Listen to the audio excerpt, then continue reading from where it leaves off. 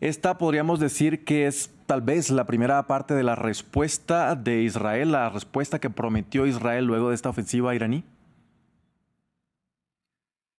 Bueno, eh, a, mí me parece que hay que esperar. Eh, estamos viendo algunos eh, elementos que nos hablan de que este ataque ha sido también un ataque limitado, el ataque iraní. Es un ataque que se da debido a que Israel ha estado atacando algunos intereses nacionales de Irán en el sur del Líbano, también ante el ataque de Ismail Haniyeh en Teherán y ante el asesinato de Hassan Nasrallah, que es el líder de Hezbollah. Eh, no obstante, este ataque de Irán se da en términos de limitación porque vemos que los blancos han sido estrictamente militares, que la misión iraní ante Naciones Unidas por medio de su cuenta de X ha anunciado el final de esta operación haciendo alusión a los derechos de legítima defensa de la Carta de Naciones Unidas y también pues debido a que hay un, un elemento de comunicación constante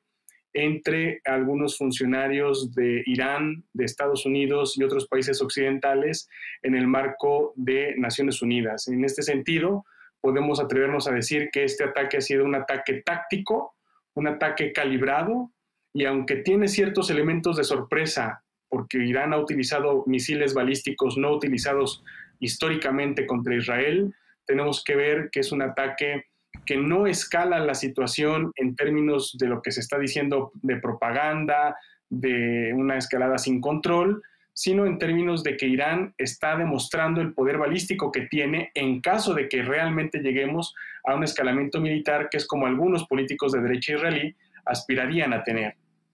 Precisamente e, estas amenazas van y vienen, hemos visto ya declaraciones de ambas partes y el lenguaje que se usa da a entender que viene una guerra completamente abierta. Eh, teniendo en cuenta estos episodios del pasado, podríamos decir que eh, realmente va a ser así. ¿Qué podríamos esperar? ¿O podría quedarse esto también, tal vez en amenazas?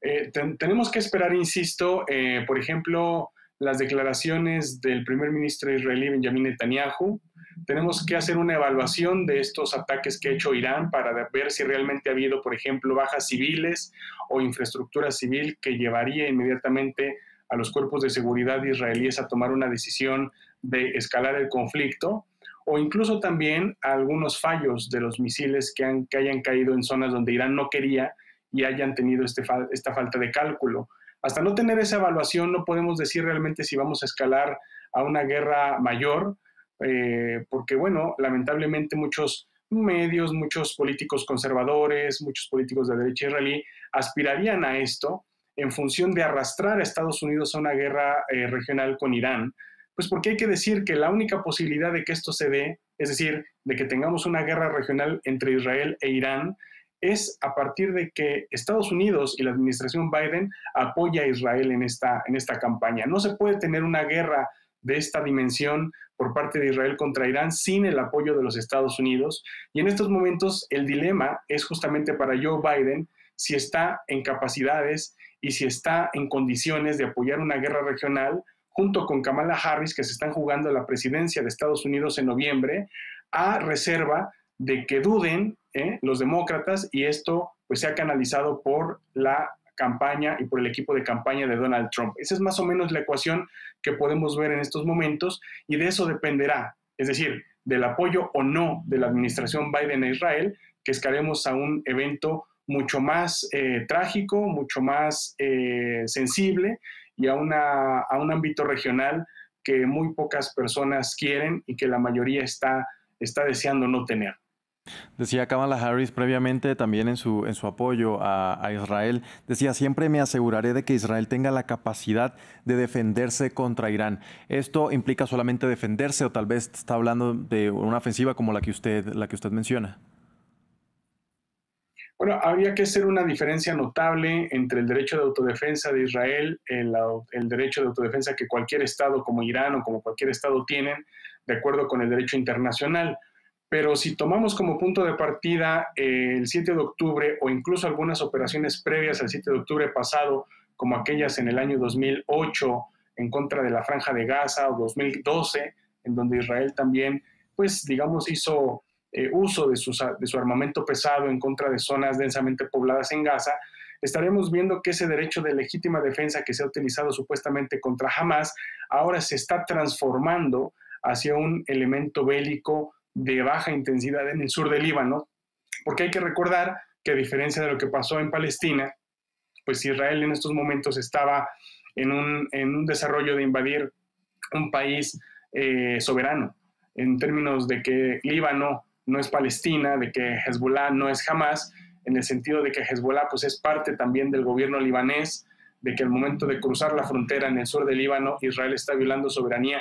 está tratando de provocar una reacción no solo de Hezbollah, sino del propio ejército libanés, del, del gobierno libanés, de los aliados europeos, particularmente de Francia, del Estado libanés, y todo esto pues evidentemente complejiza cualquier conflicto que se quiera reducir a un acto de legítima defensa. El hecho de que Israel esté traspasando la, la frontera del sur del Líbano y asesine al líder de Hezbollah ya transforma un conflicto a baja, a baja intensidad, que es justamente el que Irán, yo desde mi punto de vista pienso así, no quiere que escale una guerra regional, de, pues digamos, dimensiones catastróficas, ¿no? Yo pienso que en estos momentos debemos tener actores en la escena internacional que llamen nuevamente a la mesa de negociaciones entre palestinos e israelíes, que no haya ningún tipo de avance militar que viole las fronteras y mucho menos la, soberanía de un Estado como Líbano, y llamar a eh, negociaciones en plenos como el Consejo de Seguridad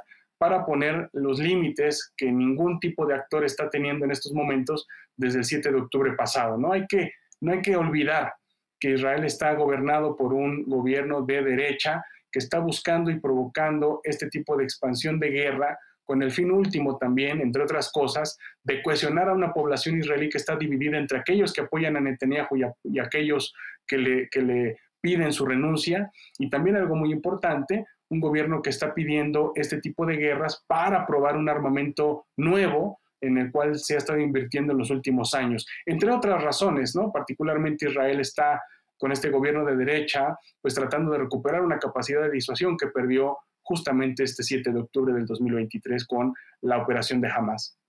Moisés, volviendo al apoyo mencionado por Estados Unidos, ¿se puede interpretar que con esto se abandona completamente la posibilidad de un alto el fuego?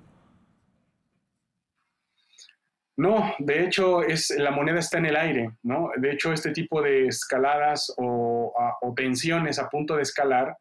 eh, pueden dar pie a dos cosas, eh, exactamente a una inflamación del conflicto, que es lo que estamos analizando ahora, o bien a un llamamiento generalizado que ponga de una vez los puntos cruciales para un, para un cese al fuego, ¿no? El punto es ver que en estos momentos cómo va a responder Israel. Estoy seguro que Israel va a responder, pero la pregunta del millón es cómo lo va a hacer y en qué momento para poder virar hacia uno de estos dos escenarios, o a un, a un digamos, cese al fuego y a un llamamiento eh, pragmático, negociador, con ayuda de la comunidad internacional, o a una escalada del conflicto que llegue al sur del Líbano, a Siria, donde hay también intereses iraníes, o incluso al propio Irán, dependiendo de la respuesta que tenga Netanyahu y su gobierno de derecha en las próximas horas o días, ¿no? Esto es algo que tenemos que eh, seguir de manera detenida, porque de esto dependerá gran parte de esta, de esta inflamación en pleno contexto donde Estados Unidos está ocupado en una transición presidencial y donde va a tener que hacer y sumar esfuerzos con algunos aliados regionales como Egipto, como Qatar, en caso de que Netanyahu tome la decisión de atacar a Irán y responder este ataque que hemos visto en las últimas horas. Quisiera decir que hay una diferencia muy importante entre el ataque de abril de, este año y lo que acabamos de ver hace unas horas por parte de Irán. A diferencia de abril, cuando Irán anunció con un tiempo muy grande de, anticipación que iban a venir ataques de drones y de cohetería de mediano eh, eh, y corto alcance, eh, Israel tuvo el tiempo necesario para ir detectando y también para ir bajando cada uno de esos artefactos balísticos que Irán envió desde su territorio, cerrando pues, espacios aéreos importantes de estados como Jordania, por ejemplo, que también se unió a, esa, a ese ejercicio de defensa. Eh, a diferencia de ese ataque, ahora vemos un, un ataque sorpresa, insisto, calibrado, pero digamos que también demuestra que Irán eh, tiene un debate interno muy interesante sobre si responder o no a este tipo de ejercicios israelíes y han tomado la decisión de demostrar parte de su poder balístico, ¿no? Eso hay que tenerlo en cuenta porque Estados Unidos va a tener que pensar muy bien si apoyar o no a Israel en una escalada militar con un Irán que ya no es el mismo de hace 20 años. Eh, precisamente a propósito de estos ataques, Moisés, ¿hasta qué punto esta ofensiva de Irán mostró vulnerable a Israel o si lo hizo del todo? Bueno, hay elementos interesantes sobre esto, por ejemplo, el hecho de que, Israel, de que Irán ha utilizado un misil que no había utilizado antes, que es el famoso Fatah, es un misil balístico de aquellos que para llegar al blanco tienen que dejar la atmósfera y a partir de ahí, eh, digamos, tener una fusión entre combustibles líquidos y combustibles sólidos para que una vez reentrando a la atmósfera den el blanco con un potencial, digamos, eh, tan, tan específico de rango que pueda dar eh, un alto grado de precisión. Eso Irán lo hizo, de acuerdo con algunas fuentes, de estos 200 artefactos que envió, hasta un 85 o 90% de, de, eficiencia, de precisión, lo cual pues habla también de las debilidades que tiene Israel frente a este tipo de artefactos balísticos iraníes. Esto no quiere decir que el domo de hierro, que es el que normalmente utiliza Israel para hacer algunas detecciones por parte de, artefactos balísticos enviados desde Gaza o desde alguna otra parte de Palestina ocupada no sirva, ¿no? Ahora tenemos que ver que este domo de hierro es uno de los artefactos más innovadores de la historia en términos de, sistemas antiaéreos, pero el,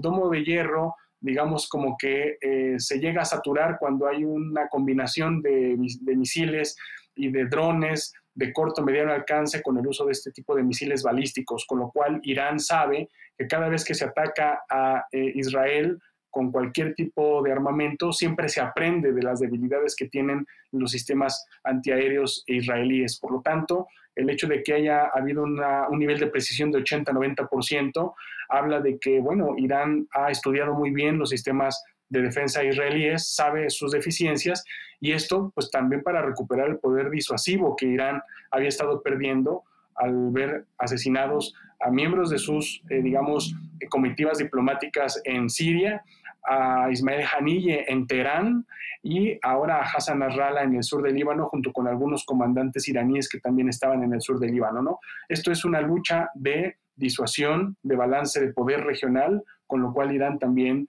pues sabe las debilidades israelíes, aunque hay que decirlo, Israel y su armamento son en,